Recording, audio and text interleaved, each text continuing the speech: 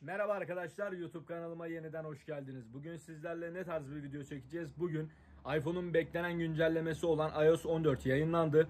Telefonlarda ne gibi bir değişim sağladığını, ne tarz göze batan özellikler olduğunu sizlere göstermeye çalışacağım. Ve onunla birlikte de bu özellik yani bu güncelleme 6S ve üstü modellerde e, gerçekleşti. 6S öncesinde ne yazık ki artık güncellemeleri almıyorlar. 6S'te de büyük ihtimal e, son olur diye düşünüyorum bu güncellemenin. Şimdi sizlere iOS 14'ün telefonda ne gibi değişimler yarattığını göstereceğiz. Video başlamadan önce kanalımıza abone olup bizi destekleyebilirsiniz. Şimdi videomuza doğru geçebiliriz. Evet arkadaşlar e, şimdi size şöyle bahsedelim. Önce ana ekrandan konuşalım. Ana ekranda sola kaydırdığınız zaman bu şekilde e, kısa yol bir menü gözüküyor. Buradaki durumları siz ayarlayabiliyorsunuz. Örnek veriyorum hava durumunu ayarlayabilirsiniz. Harita vesaire bunlar size kalmış bir durum. Aynı şekilde de burada kısa yollar mevcut oluyor. Burada pil durumunuz gözüküyor. E, burada da böyle kaydırdığınız zaman aynı şekilde hızlıca erişim sağlayabilecek işte harita, hava durumu, işte son çalınan müzik listeniz vesaire görebiliyorsunuz. Sola kaydırdığınız zaman böyle e, bir ekran mevcut. Ve ondan sonra ekranın sonuna gittiğimiz zaman sağ tarafa Burada da uygulamaların arşiv olarak, liste olarak görüyorsunuz. Örnek veriyorum oyun oynadığınız oyunlar sadece oyun bölümünde oluyor. Bende PUBG var. Sadece PUBG olarak oyun listemde o mevcut. E, finans üretkenlik bölümünde işte gördüğünüz gibi banka hesaplarım vesaire gözüküyor. Ayrıyetten onunla birlikte e, eğlence bölümünde işte kullandığınız e, uygulamalar varsa işte onları buradan görebiliyorsunuz. Onunla birlikte yaratıcılık vesaire fotoğraf, shop uygulamaları vesaire varsa onlar bu şekilde görülebiliyor. Önerilenlerde de e, uygulama olarak kendisini bize önerdiklerini gösteriyor. Ve ayrıyetten de bunu böyle ekranı kaydırdığınız zaman da alfabetik bir sıra şeklinde de bunları görebiliyorsunuz. A'dan başlıyor en son harfe kadar bunları da görme şansı sizlere sağlıyor. Ana ekrandan bahsedeceğimiz bu. Onunla birlikte de son olarak da şu müzik simgesi değişti. Rengi değişmiş, modeli değişmiş. Bu. Başka da bir şey yok. Ee, ana ekran değişimi bu şekilde arkadaşlar. Evet arkadaşlar şimdi bahsedeceğim size bu arşiv bölümünde gördüğünüz e, burada seçenekler var. Mesela bildirimleri görüyorsunuz. Bu bildirimleri istemiyorsanız orada görmek. Buradan kapattığınız zaman gördüğünüz gibi o bildirimler burada kaybolmuş oluyor. Ayarlar bölümünde ana ekranla ilgili de bir seçenek açılmış durumda. Tıkladığınız zaman burada uygulama arşivinde göster derseniz bildirimler açılır, gözükür. Burada da kapattığınız zaman gözükmemiş oluyor. Burası da bu şekilde arkadaşlar. Onunla birlikte de maruz kalma bildirimleri diye bir seçenek burada mevcut. Ondan da şu şekilde ben size bahsedeyim. Şimdi bildiğiniz gibi koronavirüsten dolayı kimlerde var kimlerde yok. E, ondan dolayı e, sağlanan bir uygulama tabii ne kadar e, sağlıklı olur onu ben de çok bilmiyorum ama buraya girdiğiniz zaman burada bildirimleri vesaire açtığınız zaman Android veya iOS olsun e, size burada bildirim veriyor. İşte bu kişide vardır yoktur hesabı. Bu tarzda bir sistem ama kendisi de e, bu konuda ne kadar e, net bir bilgi verecek onu ben de bilmiyorum açıkçası. Öyle bir denemeye de girmedik. Buradan da bu şekilde bir e, virüsle ilgili bir menü açılmış durumda. Evet arkadaşlar şimdi iOS 14 ile birlikte gelen e, diğer özellik e, aslında benim ilgimi çeken bu oldu. Normalde kullandığımız iPhone modellerinin arkasına bu e, bulunan Apple simgesi yani bu elma simgesi normalde sadece görsel olarak burada mevcuttu. Herhangi bir işe yaramıyordu ama yeni gelen e, özellikle birlikte şimdi şöyle göstereyim ben size. E, şimdi erişebilirlik bölümüne tıkladığınız zaman e, burada dokunma bölümü var. Dokunmaya tıklıyorsunuz arkadaşlar. Burada en aşağı indiğiniz zaman arkaya dokun diye bir seçenek mevcut. Arkaya dokuna tıkladığınız zaman çift dokunma ve üç kez dokunma diye seçenekler mevcut.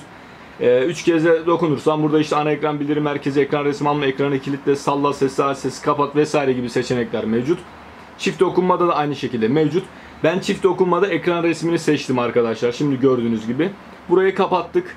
Arkadaki simgemize iki kere dokunduğumuz zaman ekran resmi alacaktır sizden. Şöyle yaptım ben arkaya dokundum. Ekran resmimi aldı gördüğünüz gibi. Yani şöyle dokunuyorsunuz çift dokunduğunuz zaman bu şekilde sizlere ekran resmini almış oluyor. Yani artık o arkadaki simge de e, telefonda yeni bir özellik olarak katmış oluyor sizlere. Yani şu şekilde çift dokunduğum zaman ekran resmini tekrardan almış oluyor. Bu da e, yeni gelen özelliklerden bir tanesi. Evet arkadaşlar şimdi size bahsedeceğim özellikle bu kamerada fotoğrafları çektiğimiz zaman e, mesela işte sağa atıyor sola atıyor ekranda göründüğü gibi çıkmıyordu. Bununla ilgili de bir ayar geldi. Ayarlar bölümüne girdiğiniz zaman burada kamera seçeneğine tıklıyorsunuz arkadaşlar. Kameraya tıkladığınız zaman burada ön kameraya yansıt diye bir seçenek mevcut. Yani ön kamera o anda neyi görüyorsa aynı şekilde yansıtıyor. Yani şöyle ön kamera şimdi yansıtı ben kapattım. E, fotoğraf bölümüne geldim. Selfie bölümünü açtım arkadaşlar. Şu anda beni görüyorsunuz. Ben böyle fotoğrafımı çektiğim zaman e, tıklıyoruz. Bakın bu e, kameram normalde sağ taraftayken sol tarafa geçmiş.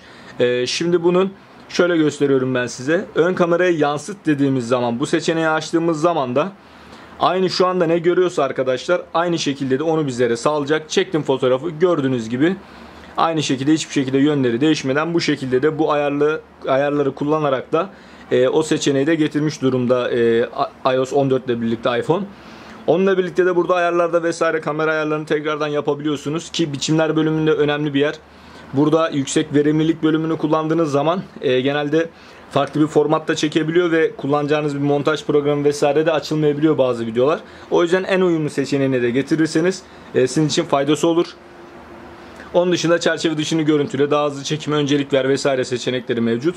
Ee, şu anda da kamera özellikleri bakımından da bunlar getirilmiş durumda. Evet arkadaşlar şimdi bahsedeceğim özellikle Siri ile ilgili. Ee, Siri'nin birçok e, bilgisine bir yenileri daha eklenmiş durumda ve onunla birlikte de Siri'ye seslendiğimiz zaman da normalde tam ekranda e, kullandığımız uygulamada bile seslensek bir anda Siri'nin kendisine geçiyordu. E, uygulamadan çıkmış durumunda kalıyorduk. Ama şu anda yapılan e, yeni güncelleme ile birlikte Siri'ye seslendiğimiz zaman sadece alt kısımda veya üst kısımda e, size cevabı veriyor. Örneğini şöyle yapalım. Hey Siri. Şu an mesela gördüğünüz gibi ekrana geçmedi. Bugün Galatasaray maçı var mı? Galatasaray, Neftçi Bakü ile 19'da UEFA Avrupa Ligi ikinci ön eleme turusunda karşılaşıyor. Yani arkadaşlar bahsettiğim Siri tam ekrana çıkmıyor. Siz uygulamaları kullanırken bile bu şekilde cevap verebiliyor. Burada sadece kendisi çıkıyor ve verdiği cevabı da yukarıda bu şekilde sizlere özetleyebiliyor. Bu sayede de kullandığınız uygulama içerisinde Siri'ye bağlandığınız zaman siz uygulamadan atılmamış oluyorsunuz. Siri'de bu şekil güzel bir özellik seçeneği gelmiş. Yeni gelen iOS 14 ile birlikte e, şimdi yeni bir uygulama daha ekranda göreceksinizdir. O da şu şekilde çeviri bölümü. Yani artık uygulama olarak iPhone'un kendisine bir çeviri uygulaması mevcut ama burada kötü tarafı şu anda Türkçe dil seçeneği mevcut değil. 11 ee, dil seçeneği var burada. İşte İngilizce, İspanyolca, işte Fransızca vesaire değişiyor. Ama şu an için Türkçe yok. O da yakın zamanda e, inşallah gelir diye düşünüyoruz. E, çeviri olarak da yeni bir şekilde uygulamayı size iPhone iOS 14 ile birlikte getirmiş durumda. Şimdi size bahsedeceğim diğer özellik de şu şekilde. Mesajlar bölümüne geldiğiniz zaman Burada istediğiniz mesajı iğneleyerek e, yukarıda tutmayı sağlayabiliyorsunuz. Basılı tuttuğunuz zaman mesajı iğneleye tıklıyorsunuz ve bu mesaj burada gözüküyor. Yani direkt en başta görüştüğünüz kişi varsa direkt onunla konuştuğunuz durumlarda direkt ona bu şekilde de ulaşım sağlayabiliyorsunuz. Onu en başta tutmayı sağlıyor. İğneyi kaldır dediğiniz zaman da o tekrardan eski haline dönmüş oluyor. Onunla birlikte bahsedeceğim yeni e, memoji olarak e, sunulan seçenekler. Örnek veriyorum burada e, benim mesela emoji bu şekilde kullanmışız. Bununla birlikte de yüzünüzün simgesi yani yüzünüzü algılıyor ve yüzünüze göre hareket eden bir emoji e, durumu mevcut. Şimdi ben bunu kendime doğru tutuyorum. Şu an bakın konuşuyorum. O da aynı şekilde e, benimle konuşuyor. Kafamı sallıyorum. Sallıyor. Dilimi çıkardım. Dilini çıkarıyor. İşte onunla birlikte göz kırptım. Ne bileyim gözleri açtım. Ağzımı açtım. Güldüm. Üzülüyorsunuz vesaire. Sinirleniyorsunuz. Kaşlarınızı çatıyorsunuz derken bu emojide de aynı şekilde sizin yüzünüzü algılıyor ve hareketli bir e, memoji sağlamış oluyorlar. Aynı zamanda da e, buradan kayıt da yapabiliyorsunuz bu karşı karşıdaki kişiye göndermek istediğiniz takdirde. Onunla birlikte de örnek veriyorum bu emojinin üzerinde geldiğiniz zaman e, gönderebiliyorsunuz ve düzenlemek istediğiniz zaman da yeni renk seçenekleri mevcut tenlerde. Yani herhangi bir ten rengine de bunları e, büründürebiliyorsunuz. Farklı farklı renkler. Örnek veriyorum düzenle dedik ten rengini gördüğünüz gibi buradan işte mavi yapıyorsunuz, kırmızı, turuncu vesaire. Buradan da ten renklerini ayarlayabiliyorsunuz arkadaşlar. Ve gördüğünüz gibi benimle birlikte kafamı sallıyorum. Dil çıkardık, işte gözümüzü kırptık.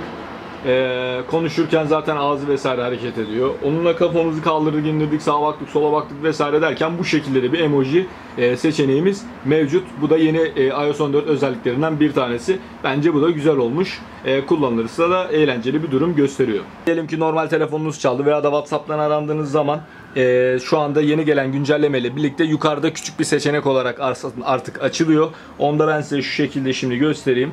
Örnek veriyorum WhatsApp'tan şimdi annemin telefonundan kendimi arıyorum. Ee, gördüğünüz gibi yukarıda sadece bir seçenek çıkıyor. Normalde tam ekranda oluyordu. Tam ekrana getirmek istediğiniz zaman bu şekilde dokunduğunuz takdirde de zaten e, eski versiyonu bu şekildeydi. Ama dediğim gibi bunu bu şekilde tekrardan e, yeni güncellemeyle sağlamış durumdalar. Sadece yukarıda böyle bir seçenek çıkıyor. Onaylıyorsunuz veya onaylamıyorsunuz. Buradan da yeni güncellemenin getirdiği yeni bir özelliği göstermiş olduk. Son kez olarak da size şöyle bahsedeyim. E, iPhone iOS 14 ile birlikte ne getirmiş? Ee, buraya tıkladığınız zaman en son hangi uygulamada ne yaptıysanız yukarıda gözüküyor. Örneğin ben kamerayı yakın zamanda kullanılmıştır olarak sizlere gösteriyor. Yukarıdaki seçenekte bunu görüyorsunuz. Onunla birlikte de kameraya tıkladığınız zaman da e, burada yeşil bir ışık yandı farkındaysanız. Böyle geçişler sağladığınız zaman turuncu oluyor. İşte fotoğrafa geçtim tekrardan yeşil oluyor. Orada da bir ışık sensörü getirmiş durumdalar. Ee, onunla birlikte de dediğim gibi kameradan çıktım. Gördüğünüz gibi yukarıda da kamera yakın zamanda kullanılmıştır. Seçeneğiyle birlikte de iOS 14 güncellemelerde bunu da götürmüş durumda. Evet arkadaşlar iPhone'un iOS 14 güncellemesiyle telefonlarımızda ne gibi değişimler oldu, ana ekranımızda vesaire ne gibi şeyler olduğundan sizlere bahsetmeye çalıştım, göstermeye çalıştım. Umarım faydalı güzel bir video olmuştur. Ee, anlatabilmişimdir en önemlisi.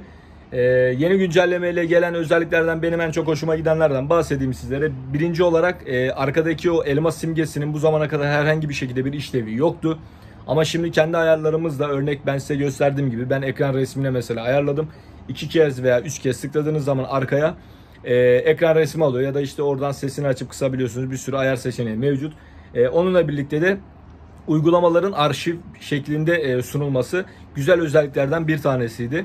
Ve e, kamera bölümünde de bu fotoğraf bölümündeki e, fotoğrafı çektik işte nesne burada gözük, gözükürken çektikten sonra burada gözükmesi vesaire bunun da ayarı getirilmiş.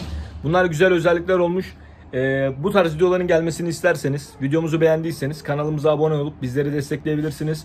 E, diğer videolarımızda görüşmek üzere. Kendinize iyi bakın. Hoşça kalın. Bay bay.